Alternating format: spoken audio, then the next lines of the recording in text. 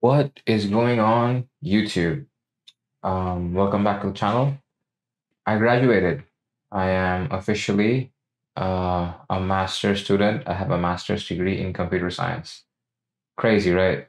Um, I have a bachelor's in electrical engineering, so it's kind of wild to think that I've managed to obtain this degree and complete it um, with a good GPA.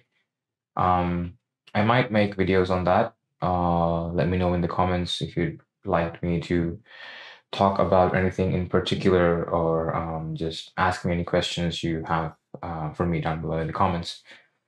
Um, since I graduated, I figured this would be a good time to talk about some of the struggles of being a master's student in the US.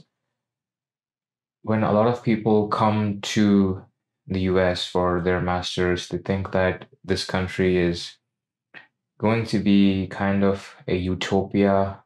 And when they come over here, um, all of their dreams are going to come true and everything's going to work out and this is going to be the best thing they've ever done in their lives. Um, while some of that may be true, um, a lot of it in the beginning, especially in maybe the first year of your master's or maybe even the second year, will not go the way you envisioned it.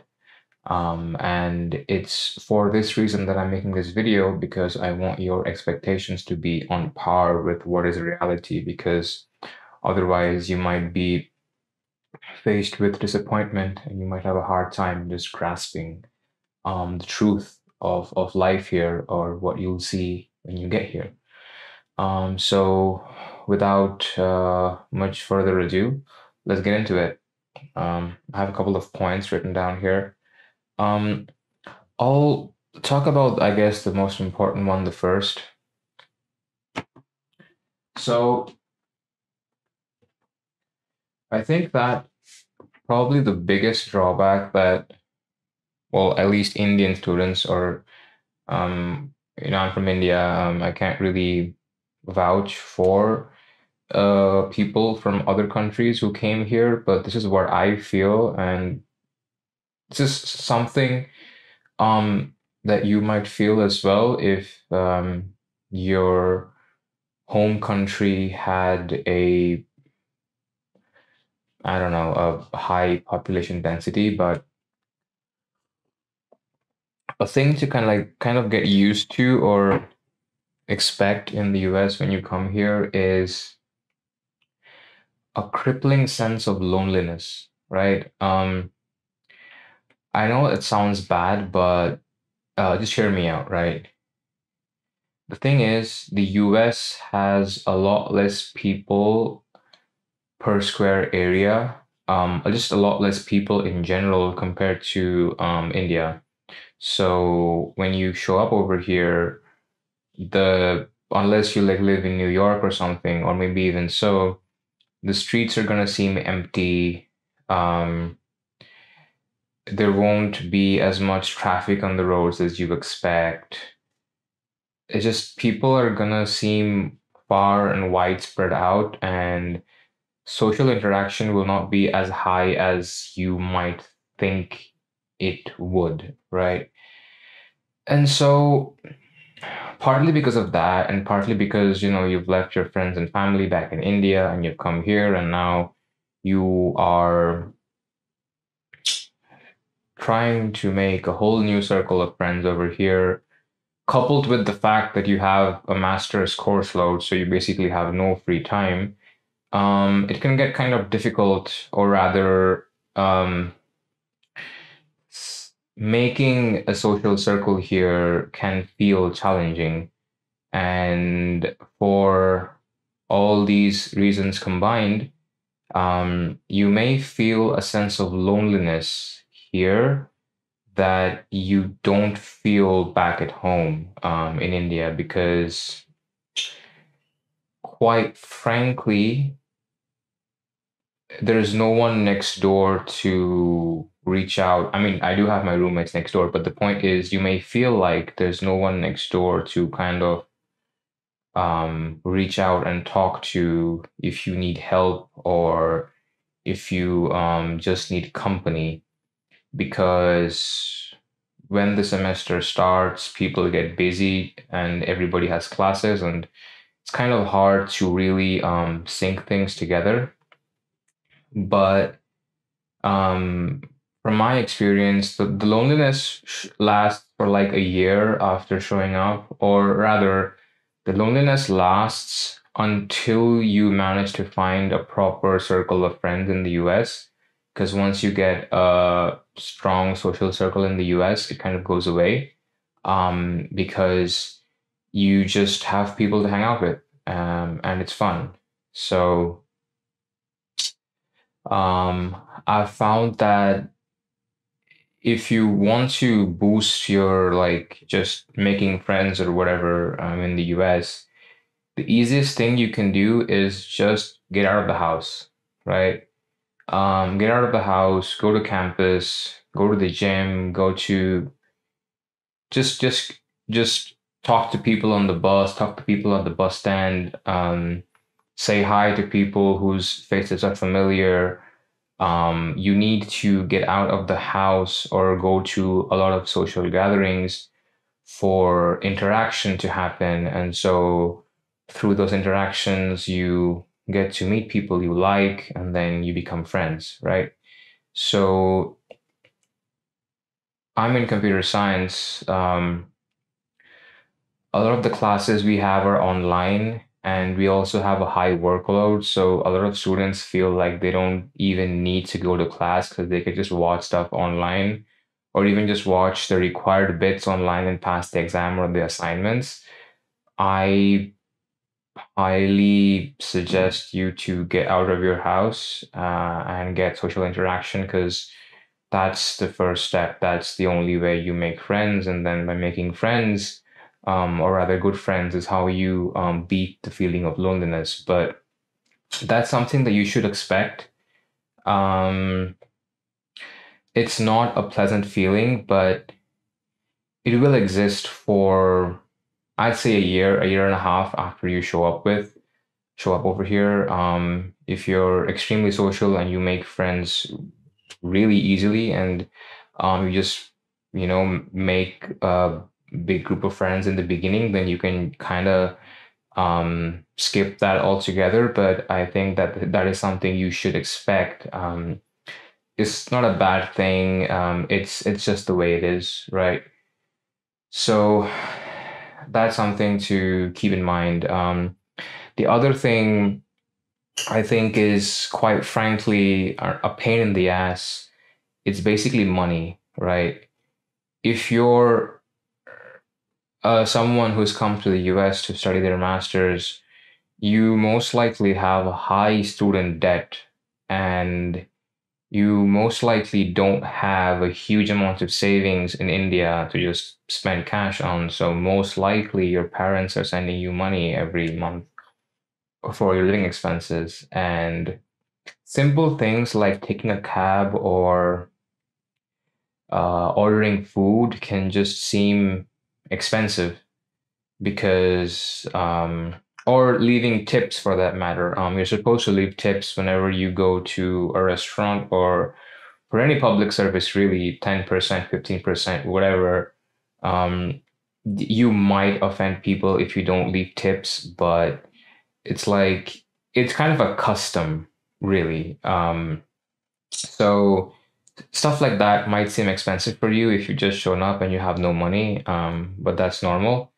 Uh, so you might so you know it's like if you walk into a shop and like you're a, you're you're like a, a broke student um and they know you're a student i suppose it's okay to like not leave a tip but if you walk into like a fancy restaurant and something with a group of friends and you your bill is 65 um the expectation is you should round it up to 70 for or whatever um, just so you know you uh, give a sign of courtesy to the people working there um, but the point is that you might find that you're tracking your weekly groceries. Uh, you can't order the groceries you want because they're too expensive. Um, cab fares seem very expensive. You're wrecking your head on how to get to a particular place because you want to save money. Um, buying stuff like furniture and tables and stuff might seem very expensive. You might have no furniture in your house or your room, but you think twice about buying anything because it costs so much money. Um, you might also be wanting to eat out and you can't eat out because the, the delivery fees are insane and they cost a lot of money. Um, basically you might find yourself tracking your expenses very very deeply and this might be annoying and stressful um, and it is um, it's just something i want to give you a heads up to because this is a part of the student lifestyle this is a part of it there is no way to get rid of this feeling um, except earning money so the only way to overcome this problem is to earn money through a part-time job, an internship, preferably an, an internship because you make out of money over there, or maybe a full-time job or whatever.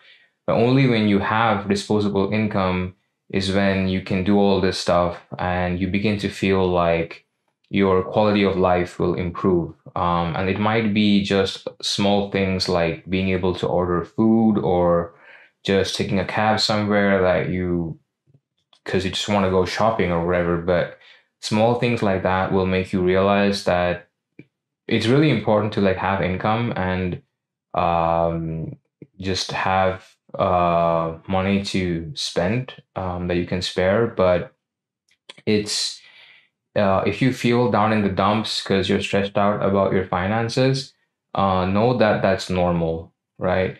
Um, I've even borrowed money from friends a few months because I was low on my rent or whatever, but it's like that is part of the deal, right?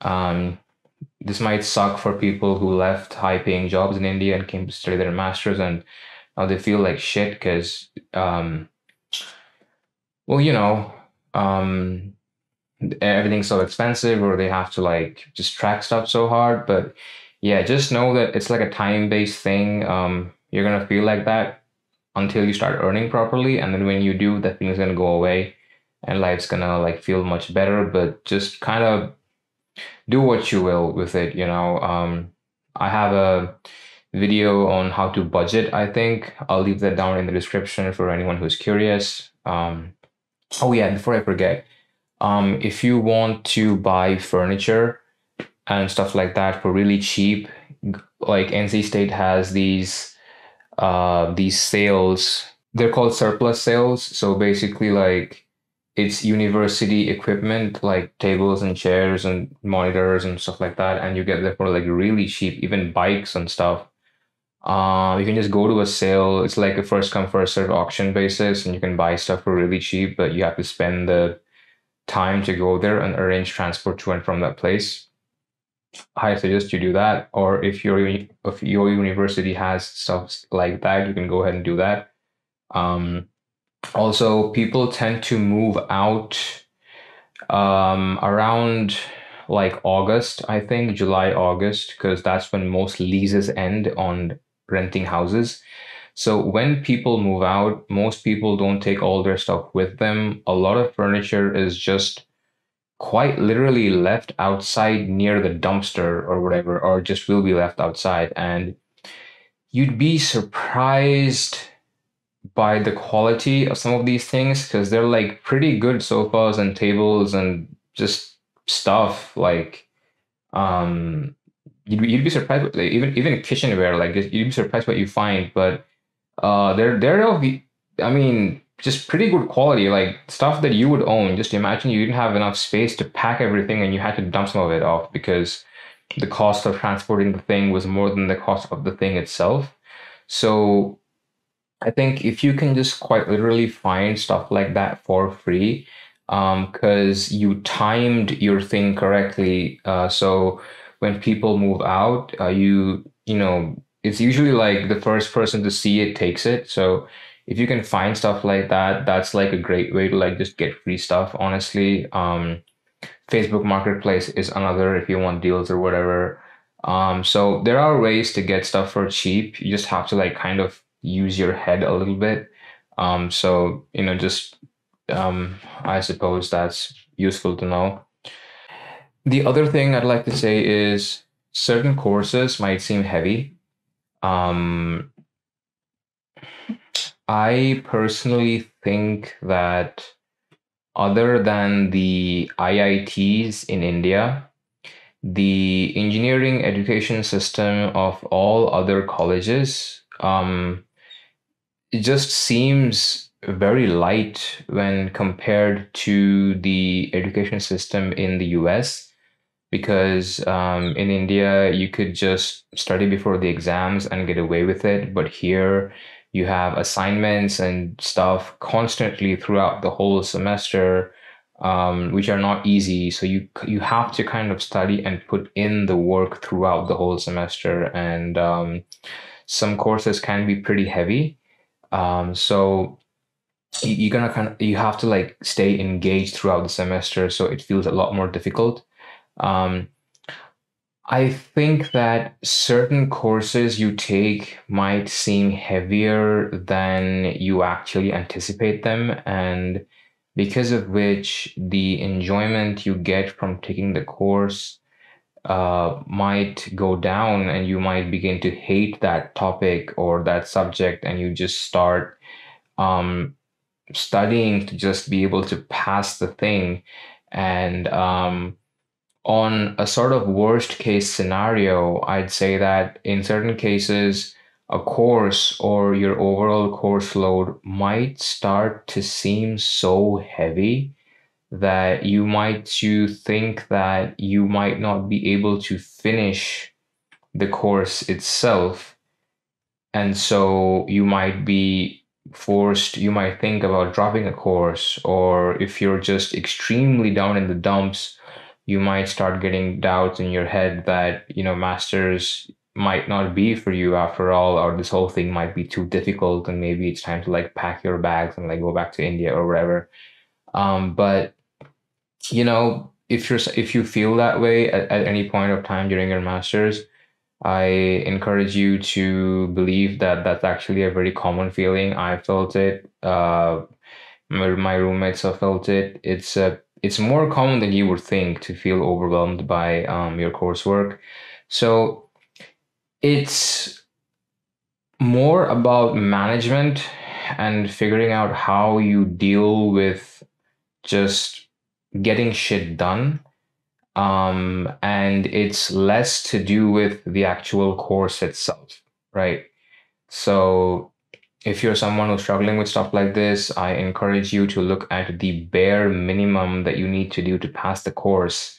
Um, for example, um, you know, obviously, I would like, I would encourage everyone to go to class, um, but for whatever reason, if you feel like you have no time on your hands and you're like drowning in work or whatever, I encourage you to think that what is really the minimum you need to do to pass the course your answer is probably submit the homeworks on time and then pass the exam, for which you probably don't even need to go to class and maybe you don't even need to watch all the lectures, right? Um, while, uh, while I encourage you to do all of that and really make the most of your masters, if you're someone who's struggling, I encourage you to be smart about it and just kind of understand your workload and what you need to do to um, kind of um, roll with it. And well, another thing I think that I have to mention is household chores. So, most likely, you're someone who hasn't cooked before because your parents always cooked for you or you hired a cook or you got food from your college because you lived in hostel or whatever. And you've never actually done um, cleaning. You've never actually cleaned the house. You've never actually you know broomed the floors and like mopped floors or like cleaned dishes or like whatever right? Um, when you start doing this stuff, it's gonna seem like a pain in the ass um, because time is required to do all this stuff and you're gonna be busy anyway with your studies. But this sort of thing is something you get used to eventually, right? You might be complaining for the first six months that you had household help in India and you don't over here, but you just get used to it, right? It comes a point in your life when you just kind of get used to it. You sweep your room once a week, you cook maybe twice or thrice a week, you know, uh, wash your clothes, clean the house, whatever, right? Um, I mean, you have a washer and dryer. I said wash your clothes as if like it takes any effort to, to, to actually do that. But um, the the thing is like it's really a matter of habit and it just is it's just a matter of time you know things will like things will fit in. Um if you're someone you know cooking i think is a life skill that everybody should probably learn. Um i didn't know how to cook anything when i first came here and then over my first two years, I was so busy with studying that I barely, like, I was interested in cooking, but I barely learned how to cook like the most basic stuff so I could, like, kind of get by for two years and, you know, obviously eat proper nutrition and stuff like that. But I could never actually fully explore how to cook because I was just always so busy with my studies and, and, and other things. But, you know, the point is it's worth uh, putting in some time and you're gonna get better at this stuff eventually one way or another and you don't really have to worry too much about it. Um, it's gonna fall into place and you're gonna get used to it. I know it's a pain. It's even a pain when i go for a vacation back to india and i come back and i'm like oh damn i have to cook again. This is such a pain in the ass. Um because you know like i don't cook as well as like my as my mom does or whatever but you're gonna get used to it. Don't worry too much. It's just gonna like feel fall into place um, with time. And I think another thing that you need to get used to is a feeling that you have no free time. So if you're someone who's been working a nine to five back in India and you come here to work uh, to study for your master's, so a nine to five usually means that you're free after five, and then it also means that you have weekends to yourself to just kind of laze around, watch Netflix, hang out, do whatever, right? But when you are like a master student, you're gonna eventually realize there are always two or three assignments that you have pending, and some of them are actually group assignments. So you can't really even work ahead and be done on time because it needs other people's help. And so it's it kind of feels like you're always working. There is no fixed schedule. So it's kind of like you can work if you want, you can also not work if you want. But in my experience, I've been able to take like six, uh, like half a day off at max during like difficult semesters. If I took a whole day off, it would reset me and that would bite me back in the ass because um my backlog would continue to build up right and and it's it's something you need to understand because um, at least in computer science the way the curriculum is designed is that in order to understand the ith lecture of a course you need to have seen the i minus 1th lecture of the course. You can't just skip a class and attend the next class. You might not understand what the professor is talking about right or you know maybe the professor told you to like do some reading if you're going to class and you didn't and now you're lost in class right?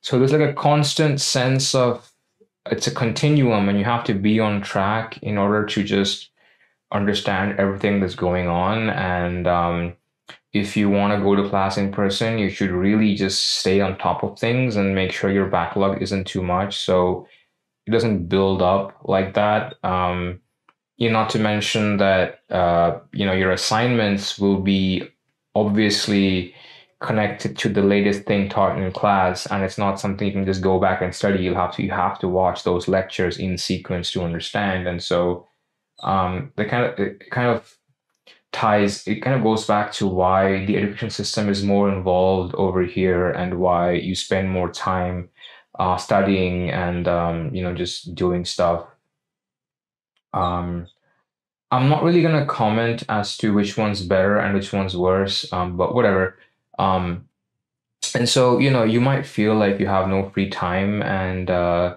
you might feel as if you're always studying and that any free time you have is extreme, extremely precious and, and rare uh, to like um, even go out and like hang out with your friends.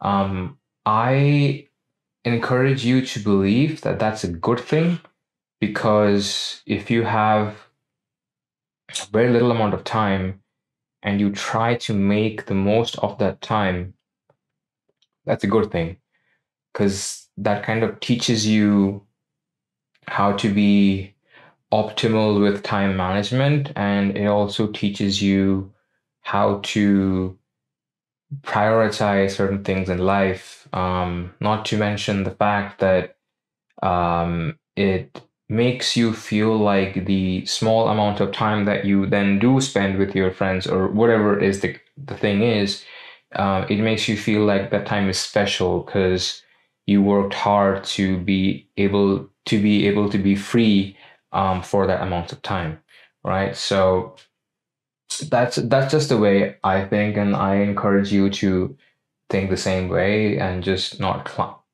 cry and complain all day that you have no free time so that's a, that's that's the way I like to think about it. Um, I actually, you know, I don't think it's a bad thing. Um, I enjoy that aspect of it. Um, but yeah, that's that's about it. Um, you know, most likely, most likely, here's what's gonna happen, right? You're gonna show up in the US. And the first one to one and a half years is going to suck because of a high course load, you having no friends, um, you feeling overwhelmed uh, because uh, the style of life is different over here, and you also have to learn household chores and you have no money. So it's going to suck, but after a year to a year and a half, uh, you're gonna earn money from your internship. Um, you will have friends by then because you know you've been um, trying to socialize um, for the last year. You will have gotten better at cooking and other household skills, so those won't seem as bad to you. Uh, you will have gotten a hang of how to manage your courses and how to manage your time. So it you know you're just you, you're going to be better at courses overall and maybe less stressed and yeah um you're gonna have money so you can just buy what you want and just treat yourselves to like nice little things and um, maybe your overall quality of life will improve right? But i think it's it's about at the maybe 1.5 year mark on average, the 1 to 1.5 year mark on average when things begin to look good and you begin to feel a lot better because you've managed to sort a lot of things out and life isn't as hard as like whatever that you thought it previously was. But you know, I just encourage you to remember the motivation of why you showed up to the US to study, right? could be a job, could be education, could be maybe you want to do a PhD, maybe you want to explore something, learn something. Keep that in mind because that is something you will be doing constantly throughout your two years, even though life could be hard, right? So, even if other aspects of your life suck and you know um, you're complaining and things look difficult um, or you know as long as you're making progress on your main goal or you you are clear in your head why you came here and you are making progress to that goal or to your uh, main career path or your ambition or whatever it is, uh, you will feel motivated and driven to keep doing the thing because you know you have a reason for doing it. And so you're going to keep pushing and um, you're not going to quit. So I encourage you to find that reason and remember that reason because that's a very important part of the whole thing.